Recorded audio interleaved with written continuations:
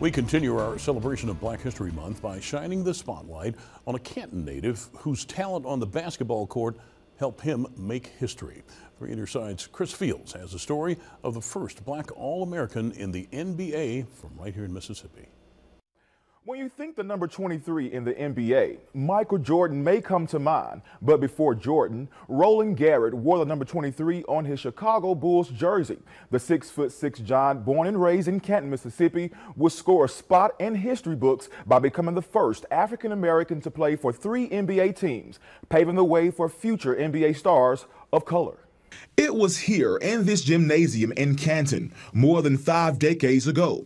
A young and vibrant Rowland Garrett showed off his incredible on court skills wearing jersey number 23. As soon as I walked in this door, it brought back all kinds of memories. And uh, I can think about all the games we used to have with the Jackson schools, Lanier, Brinkley.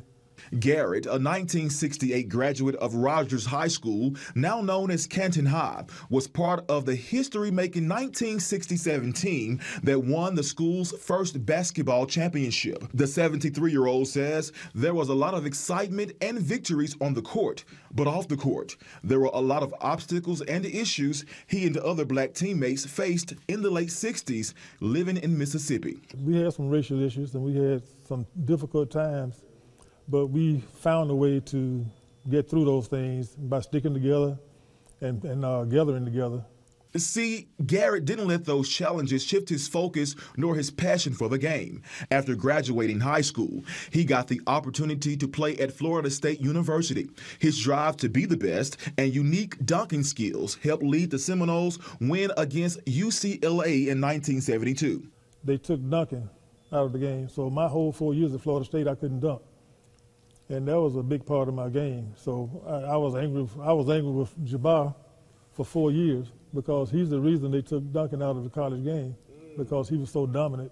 Garrett's basketball career then shifted to new heights after college. He was chosen by Chicago Bulls with the overall 78th pick in the 1972 NBA draft. Actually, Memphis had a team at the time. It was in the ABA. It was called the Memphis Tams. So I got drafted in the second round by Memphis and I got drafted in the fifth round by Chicago. But by the time I got ready to go to Chicago, Memphis folded. So there goes my bargaining power.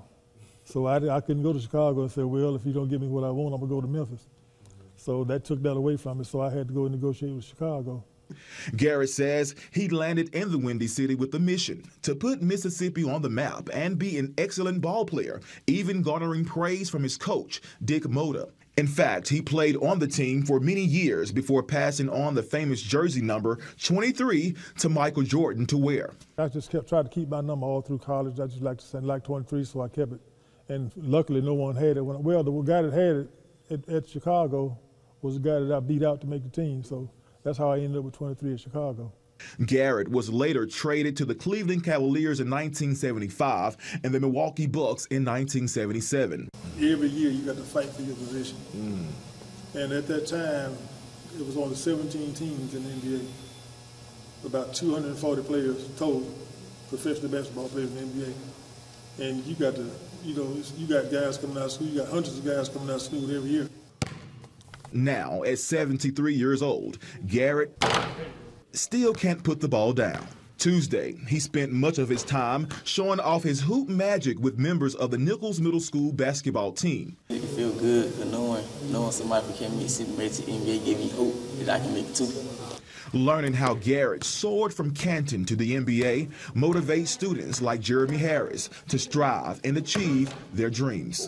I never thought about it as me being a, a pioneer or anything, you know, that, that went along with it, but I, I just focused on playing basketball. I never thought about it in those, those terms until later on when I, when I started thinking about what had, what had taken place and the things that I got awarded for.